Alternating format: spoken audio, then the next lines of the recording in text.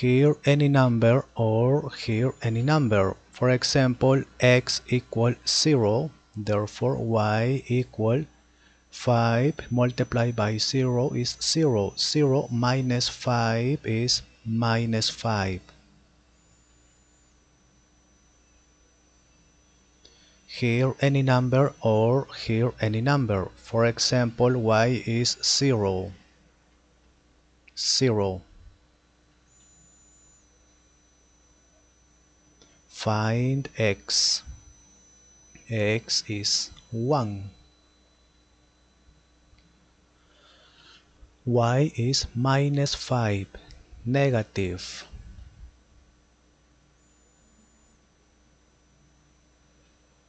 Negative positive.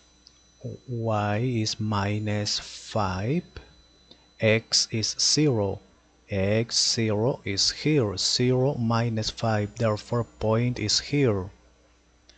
X is 1 negative positive. 1 is here y is 0 y 0 is here 0 1 therefore point is here